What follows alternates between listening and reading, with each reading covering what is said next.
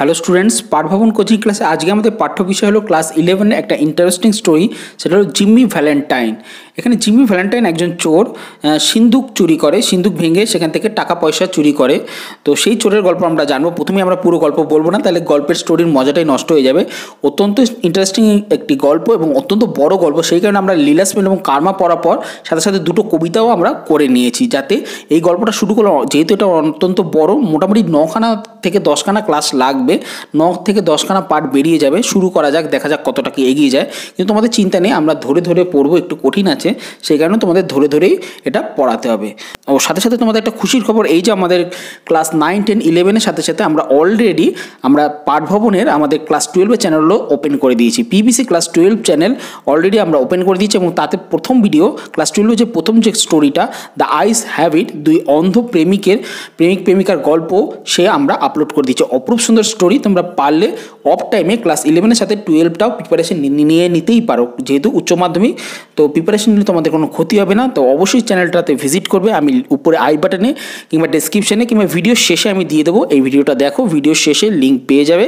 তো সেখান থেকে তোমরা আমাদের চ্যানেলে ভিজিট করবে এবং ক্লাস টুয়েলভের চ্যানেলটিকে সাবস্ক্রাইব করে নেবে। যেহেতু নতুন চ্যানেল তাই তোমাদের হেল্প নিঃসন্দেহে দরকার। অবশ্যই সাবস্ক্রাইব করে নেবে এবং মাঝে মাঝে অফ টাইমে সেই ক্লাস টুয়েলভের গল্পগুলো দেখে নিতে পারো। তাতে তোমরাই আগে থেকে উচ্চ মাধ্যমিকের জন্য প্রিপেয়ার হয়ে যাবে। তো চলো শুরু করা যাক আজকের আমাদের ক্লাস ইলেভেনের স্টোরি জিম্মি ভ্যালেন্টাইন তো এটা লেখক হলো ও হেনরি। ইনি একজন আমেরিকান লেখক, ছোটোখাটো গল্প উনি লেখেন। তো লেখক পরিচিতি এখানে আছে, এ থেকে তেমন কোনো প্রশ্ন আসে না। তো আমরা ডাইরেক্ট স্টোরিতে চলে যাব। তো এখান থেকে শুরু হচ্ছে। তো চলো শুরু করা যাক। A guard came to the prison shoe shop তাহলে এ গার্ড গার্ড অর্থাৎ হলো রক্ষী।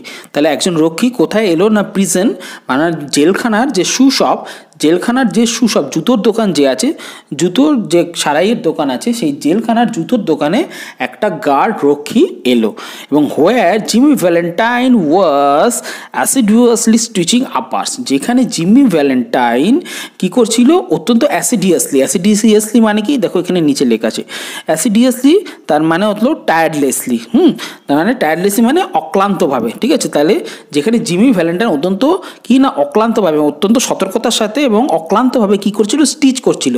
স্টিচ মানে সেলাই করছিল। জুতোর দোকানে বসে সে কি করছিল? সেলাই করছিল। কি করছিল? আপার্স মানে জুতোর যে উপরের অংশগুলো থাকে, সোলের উপরের অংশ, সেখানে হয়তো কোনো ছেঁড়া খাড়া জুতো চলে এসেছে, সেগুলো বসে বসে সে সেলাই করছিল। অর্থাৎ সে জেলখানায় বসে মুচির কাজ করে। কে? না, এখানে আমাদের গল্পের প্রধান চরিত্র জিমি ভ্যালেন্টাইন। সে কি জেলখানায় বসে, জুতোর দোকানে বসে কি করছিল? না, স্টিচিং করছিল।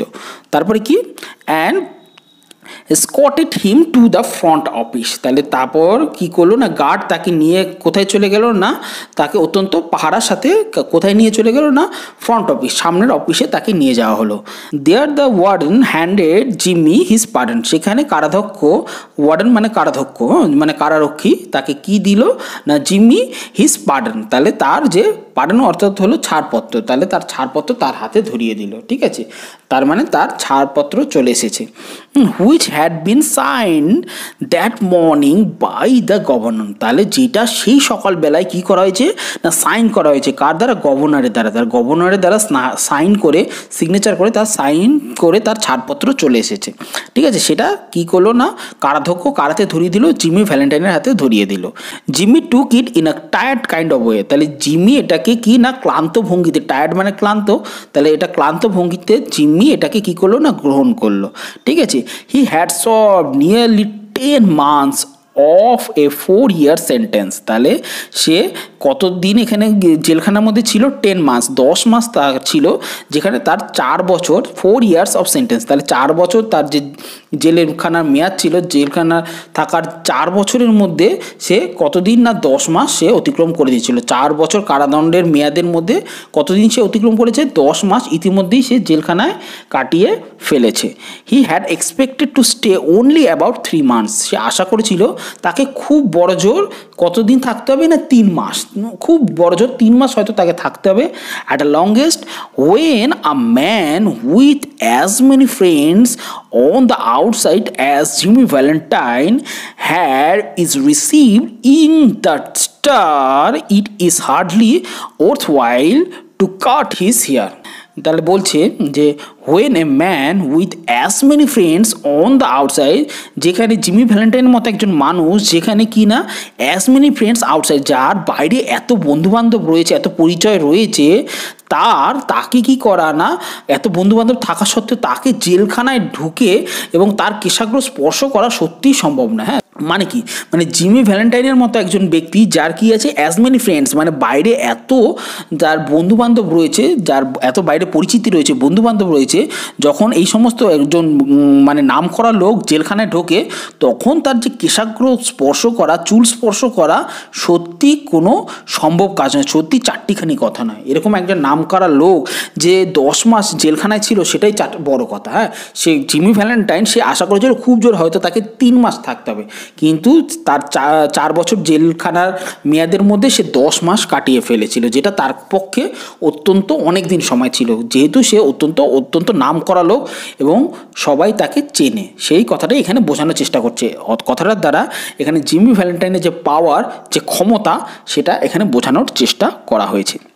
নাও ভ্যালেন্টাইন সেই দ্য ওয়ার্ডেন তাহলে কারাধ্যক্ষ তাকে বলল যে, তাহলে Valentine you will go out in the morning তাহলে তুমি বাইরে বেরিয়ে যাবে। কখন? না সকালবেলায় তো তুমি ছাড়া পেয়ে যাবে। In the morning hmm brace up তাহলে কী করো? নিজেকে আরও কী করো? শক্ত করো, হুম, নিজেকে নিজের মনে কী আনো? ব্রেস আপ মানে জোর আনো, মনে জোর আনো। And make a man of yourself hmm, তাহলে এবং নিজেকে মানুষের মতো মানুষ তৈরি করো। ঠিক আছে? You are not a bad fellow at heart তুমি মনের দিক দিয়ে কোনো মতেই খারাপ মানুষ নয়। বলছে যে তুমি এখানে আছো, আমি তো তোমাকে দেখছি, তুমি মনের দিক দিয়ে কোনো মতেই খারাপ মানুষ নাও। ঠিক আছে? স্টপ ক্র্যাকিং সেপস হ্যাঁ?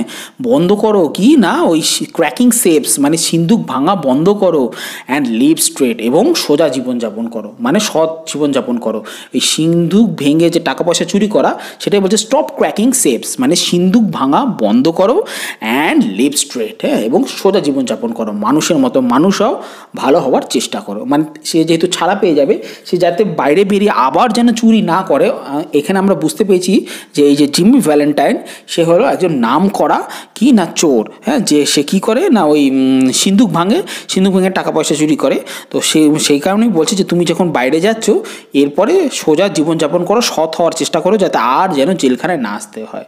ঠিক আছে সেটা কিন্তু কারাধ্যক্ষ আগে থেকে তাকে কি করল না বুঝিয়ে টুজিয়ে দিল। এইটুকুনি আমরা প্রথম পার্টে পড়লাম। আশা করি প্রথম অংশটা তোমরা বুঝতে পেরেছ। প্রথম থেকে যদি ভালো করে বোঝো, পরের অংশগুলো সোজা হয়ে যাবে।